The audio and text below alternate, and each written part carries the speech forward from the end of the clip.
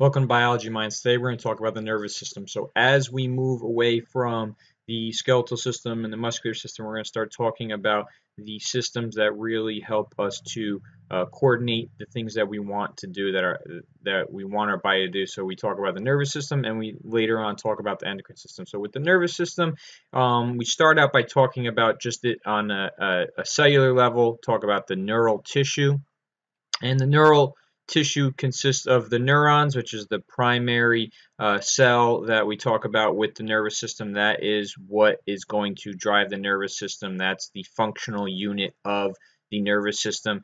And anything that's going to support the neurons we call neuroglia or glial cells. Those are our supporting cells, our, our, uh, our pieces of the nervous system that are going to help protect the neurons as well. And organs of the nervous system, we talk about the brain and the spinal cord, which is our central nervous system, and then we have sensory receptors or sense organs like our eyes or ears and etc. our skin. And then you have nerves, which are going to connect the nervous system with other systems.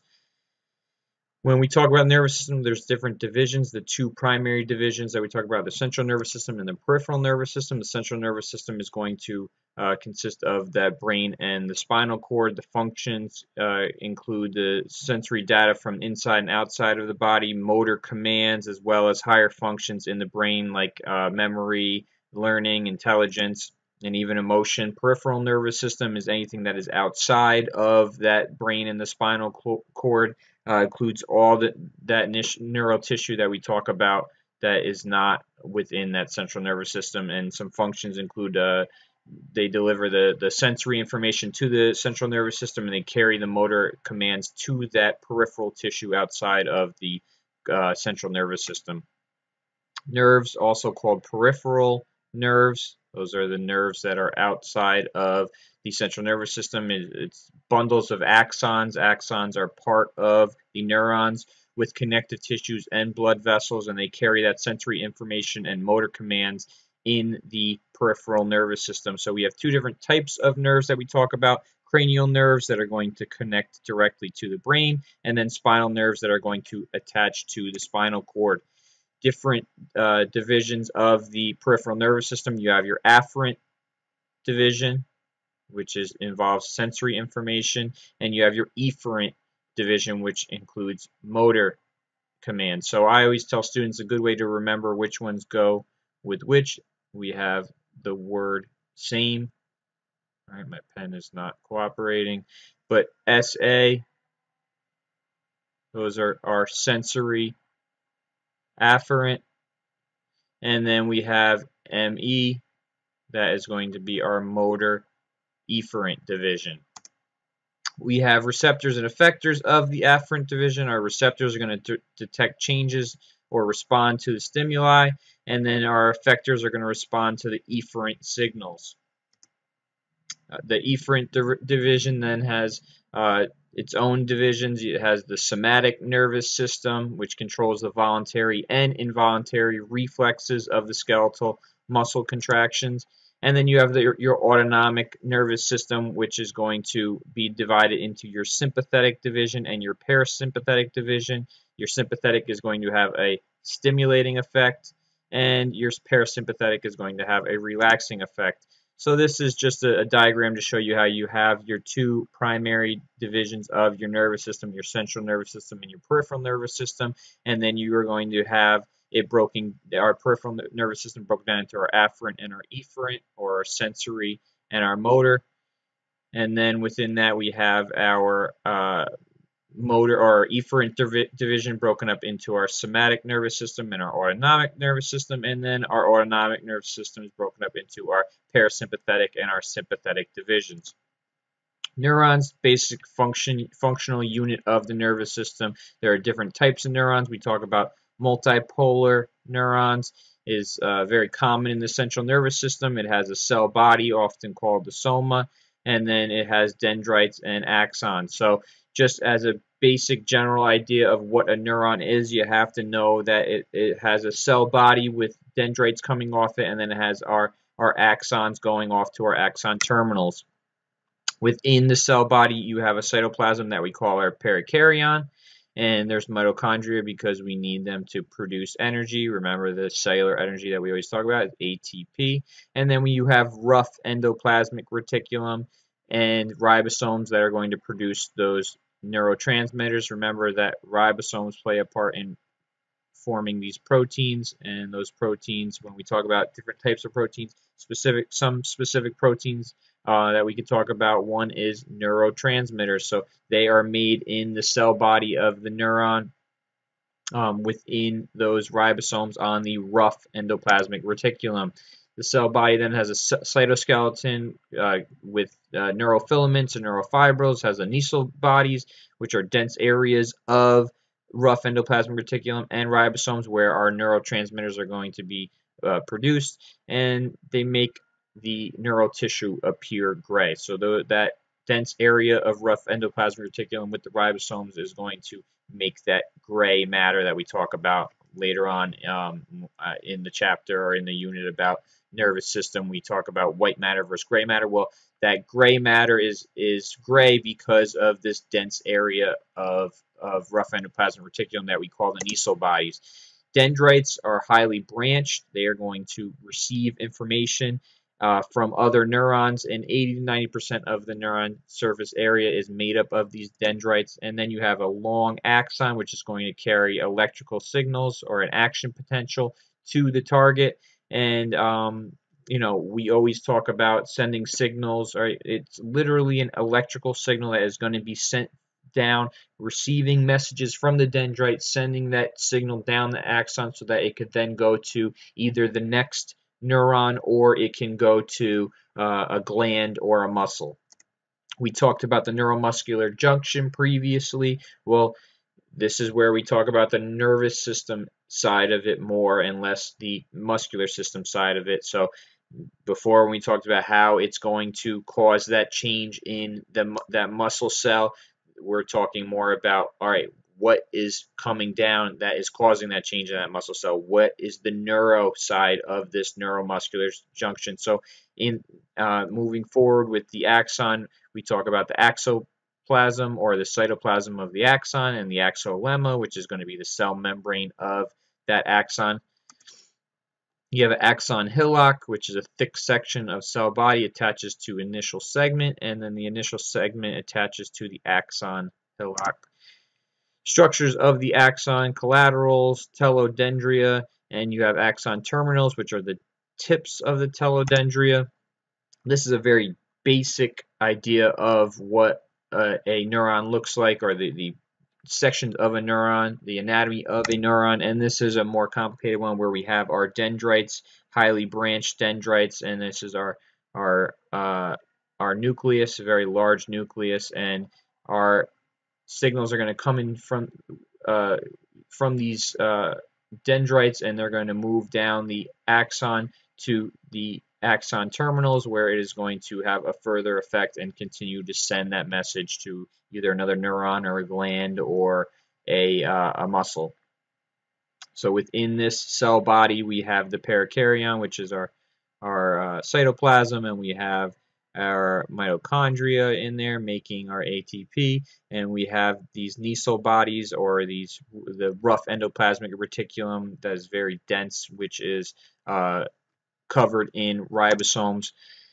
And the structure of the neuron goes down to the synapse. That's where the neuron communicates with another cell, whether it be the cell or the tissue of a gland, the muscle, or another neuron. We have presynaptic cells that we talk about, postsynaptic cells, and then the synaptic cleft, which is uh, really all relative to which neuron you are talking about.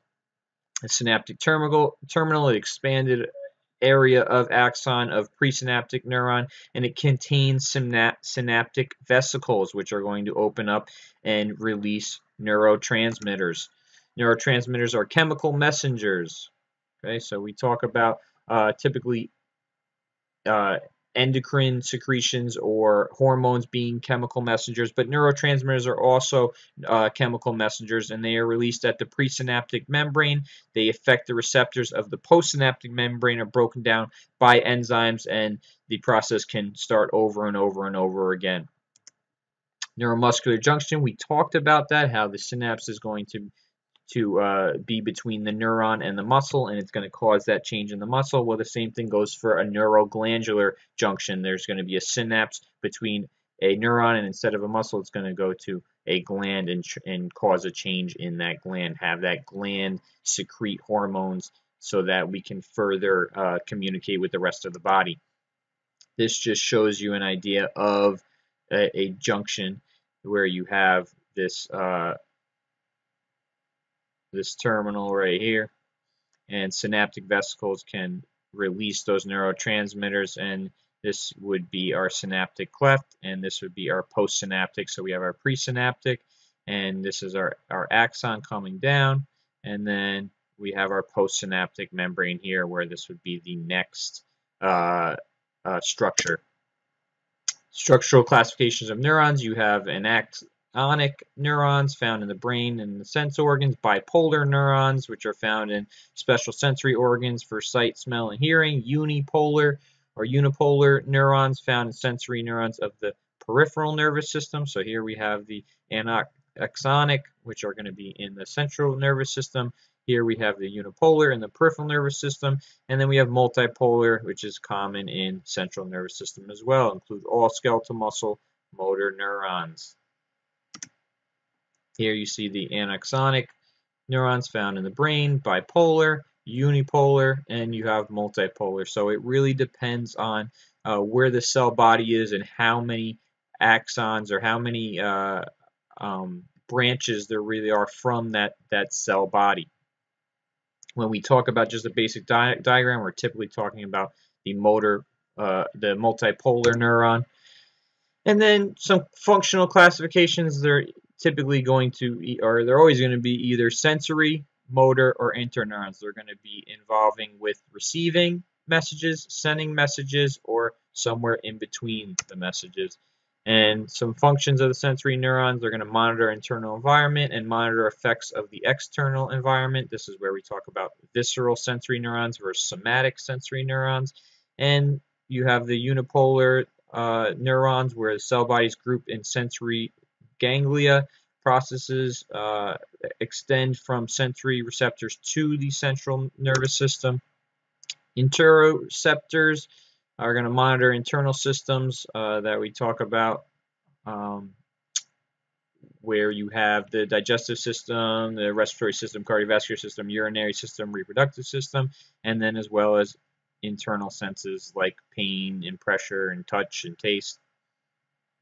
And external senses are exteroceptors, um, and then you have proprioceptors, which are going to help maintain our body's position. They monitor the position and the movement of the skeletal muscles and the joints. Then you have your motor neurons. So we have our sensory, and then we also have our motor. Our motor neurons are going to carry instructions from the central nervous system to the peripheral effectors uh, via the efferent fibers. So we have our sensory involved with our afferent, and then we have our motor involved with our efferent. Motor neurons are going to either be somatic nervous system uh, section or, or auto, autonomic or visceral nervous system section. So our somatic is going to be involved with our skeletal muscles and our autonomic or our visceral nervous system is going to be or our visceral motor neurons is going to be are going to be involved with our smooth muscle, our cardiac muscle, our glands, and our fat tissue or adipose tissue two groups of efferent axons. You have your preganglionic fibers and your postganglionic fibers. Interneurons, uh, most are located in the brain and the spinal cord between sensory and motor neurons. So interneurons, they're the in-between neurons. And they're responsible for distribution of sensory information, coordination of motor activities, and they're also involved in higher functioning such as memory, planning, and learning. So they play a major part in the brain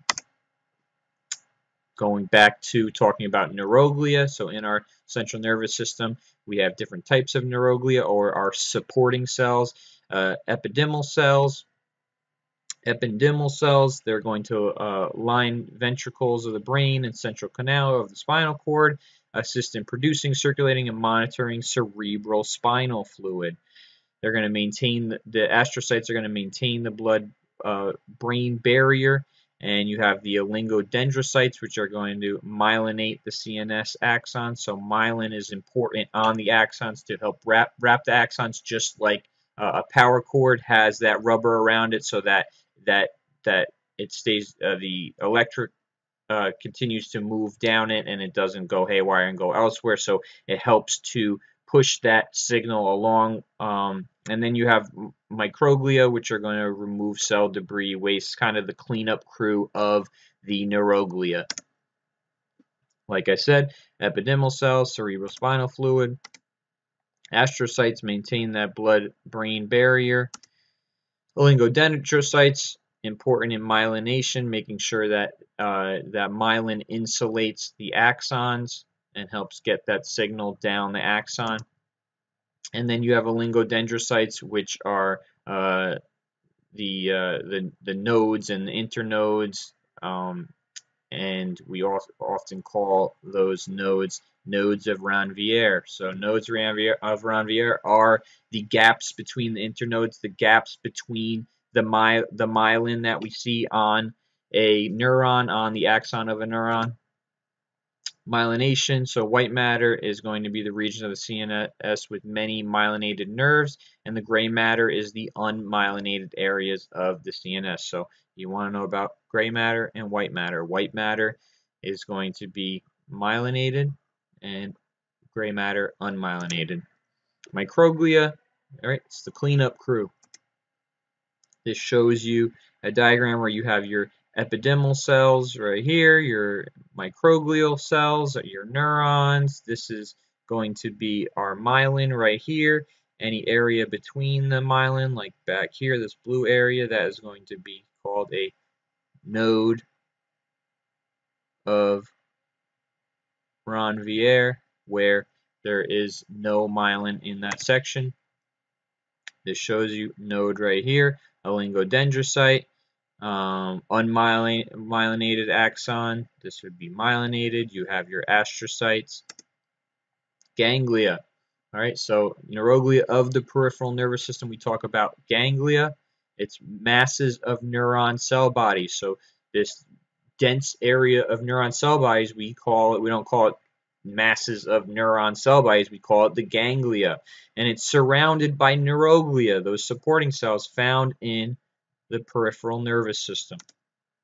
So the neuroglia that we talk about uh, in the peripheral nervous system, you have your satellite cells. They're going to surround the neuron cell bodies in the ganglia, in those dense areas of, of neurons. And then you have Schwann cells, which are going to surround all axons of the peripheral nervous system responsible for myelination or covering of the peripheral axons and participates in the repair process after injury. Satellite cells, also called amphicytes, surround the neuroglia and they regulate environment around the neuron. Schwann cells, also called neurolemma cells, they form the myelin sheath or the myelin or the neurolemma around the peripheral nervous system. We need that myelin to help that axon to send that that uh, that message down the axon to the uh, next neuron or the gland or the muscle. One Schwann cell sheaths one segment of an axon. All right, many Schwann cells sheath the entire axon. So we have one Schwann cell in one area, another one in the next area, and they all link up to uh, cover the entire axon. All right, so here you go. You have your spaces here. All right, one Schwann cell would not cover the entire thing, but if we have many of them, then you'll see that uh, the entire axon will be covered. Ion movements and electrical signals. So when we talk about the uh, the sending of signals, we have to talk about a membrane potential. So every neuron has a membrane potential. It has a charge, whether it be a negative or a positive charge. That is the potential, that membrane potential, um, which is very important. Depending on what the membrane brain potential is, is going to affect if it is able to fire, if it is able to send that signal down the line. You have resting potential. Okay, that's the potential of the cell when the cell is resting, when it is not firing, when it is not sending that that uh, that signal down. And then you have a graded potential, which is temporary localized change in that resting potential, which is caused by a stimulus, caused by receiving a, a message from uh, previous. And then you have your action potential. That's an electric impulse produced by a graded potential, propagates along the surface of an axon to go to the synapse. All right. We are looking for an action potential in order to send that message down the line to the next neuron, to the gland, to the, the skeletal muscle. You have synaptic activity, which releases neurotransmitters at presynaptic membranes, and then you and then it produces graded potentials in postsynaptic membranes, and then you also have information processing, which is a response or integration of stimuli of postsynaptic cells. Membrane potential, three important concepts that we talk about with the membrane potential. You have extracellular fluid and intracellular fluid, or cytosol, differ greatly in the composition of these chemicals, of these ions, um, of these atoms, positively or negatively charged atoms. Uh, in when we talk about neurons, um, we're talking about ions that are positive, positively charged. We're talking about sodium ions and potassium ions, where you're going to have uh, sodium ions that we're trying to remove out so that we can cause a, a action potential once again. Cells have selectively permeable membranes to certain uh, um, ions, which plays a vital role in the whole process of an action potential and uh, restarting the whole process over again. So um, membrane uh, permeability varies depending on the specific ion. You have chemical gradients uh, um, where we talk about uh, if there's more on the outside and less on the inside, or more on the inside, less on the outside. Electrical gradients, which is going to be a difference in the potential in that charge inside or outside of the neuron. Here we see passive chemical gradients. The intracellular concentration of potassium is relatively high. Okay, so inside it's high, so these ions tend to move out of the cell through the potassium leak channels Similarly, the extracellular concentration of sodium, sodium ions um, is relatively high, so the sodium ions move into the cell through sodium leak channels. Both of these movements are driven by a the uh, concentration gradient or a chemical gradient. We have sodium potassium pumps or active pumps that are going to ex uh, exchange this sodium and this potassium and maintains the concentration of sodium potassium ions across the plasma membrane passive um, electrical gradients, these uh, potassium ions leave the cytosol more rapidly than sodium enters because the plasma membrane is much more permeable permeable to the potassium than to the sodium. And then you have resting membrane potential where whenever positive and negative ions are held apart, a potential difference arises. So there's going to be a difference in the charge within the cell based on where the positively charged ions are if you look at this within the cell, we have these negatively charged ions. So inside the cell tends to be negative at a resting potential, but as ions move in, as there's an influx of positively charged ions, then that negative charge is going to move up and eventually become a positive charge, which is then going to force that electrical signal to move down the axon and send that signal to wherever it has to go. So electrical currents and resistance, electrical currents um, the, the movement of the charges to eliminate the, the potential difference, and the resistance is the amount of current a membrane restricts. So we have that gradient with the sodium and the potassium ions. Uh, sodium uh, uh, potassium is going to have a negative, uh, 90 millivolts. So sodium is going to be plus 66 millivolts. So we're going to see that there's movement of these ions, which can change the the uh, charge of that that membrane or the, the charge of that that neuron. So Potassium ion gradients, a normal resting membrane potential and electrical gradient opposes the chemical gradient for potassium ions. The net electrochemical gradient tends to force potassium ions out of the cell. So the, the, the potassium ions are forced out of the cell. And we're going to see that um, the outflow of the potassium would continue until the equilibrium potential of the negative 90 millivolts was reached and then at normal resting poten uh, membrane potential, the chemical and electrical gradients combine to drive sodium ions into the cell. And if the plasma membrane were freely permeable to sodium ions, the influx of sodium would continue until the equilibrium potential or plus 66 millivolts was reached. Um, you know, there, that's what creates our difference. So we need these sodium potassium ATPase exchange pumps, all right, powered by ATP. So we need energy, we need that cellular energy, that ATP, in order to get our our membranes back to where we want them. It's going to care, carry three sodiums out remember because they're going to rush in. So we need that them to be moved out and we need two sodiums to be moved in because they are going to rush out. So in order to keep this balance we need these sodium potassium ATPase pumps which is going to help maintain the resting potential of negative 70 millivolts because we want our resting potential to be negative 70 millivolts so that we can create that action potential of plus 30 millivolts in order for that uh, that signal to be sent down the line. So because the plasma membrane is highly permeable, the potassium ions, uh, two potassium ions, the resting potential of approximately negative 70 millivolts is fairly close to negative 90 millivolts, and with um, and then the electrochemical gradient for sodium ions is very large, but the membrane's permeability to these ions is very low. So the sodium has only a small effect on the normal resting potential, making it just slightly less negative than the equilibrium potential for potassium. The sodium-potassium exchange pump ejects the three sodium and for every two potassium ions that brings it into the cell. It serves to stabilize the resting potential when the ratio um, through the um, when the ratio changes because we want to get it back to that 3 to 2. At the normal resting potential, these passive and active mechanisms are in balance. And then we are going to see that uh, as we use passive cha uh, channels, they're always going to be open, but we're going to have active channels or gated channels. They're going to open and close, close in response to stimuli. So three states of gated channels, they're either going to be closed, they're going to be open, which is activated, or they're going to be closed and not capable of opening, which is inactivated. Three classes of gated channels, chemically voltage gated and mechanically gated channels.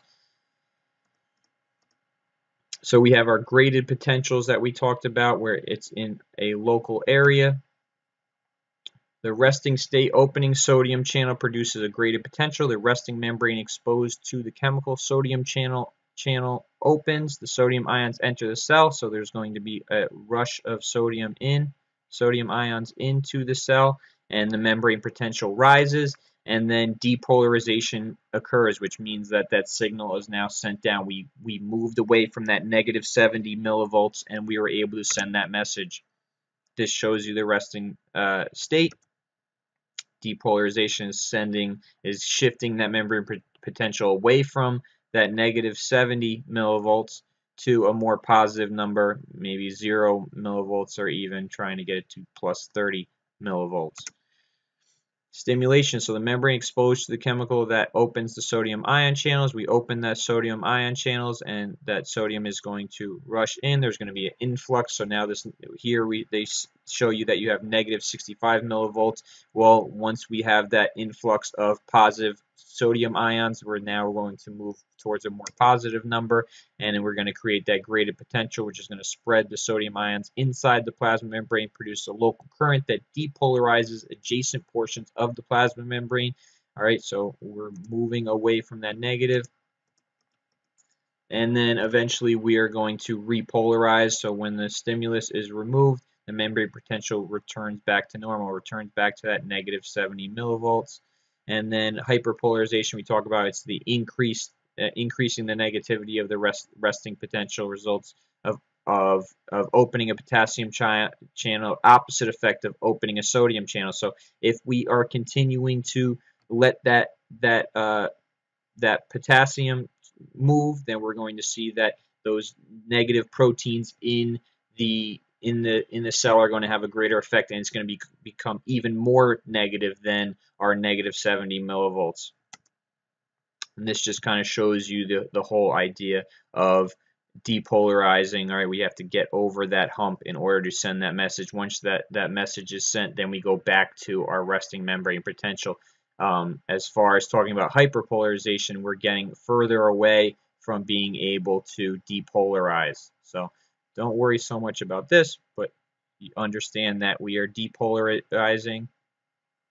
Up until here we are sending that message and then we are repolarizing so that if we get another stimulus we can then uh, send that message once again. So keep these things in mind as we move forward. We're going to start talking more about the structures and uh, the peripheral nervous system and the central nervous system and the different parts of the brain and the spinal cord and the nerves that are involved with that. For now, you need to understand uh, that the functional unit of the nervous system is the neuron and everything is built up of the neuron and these the neuroglia that are going to support these neurons.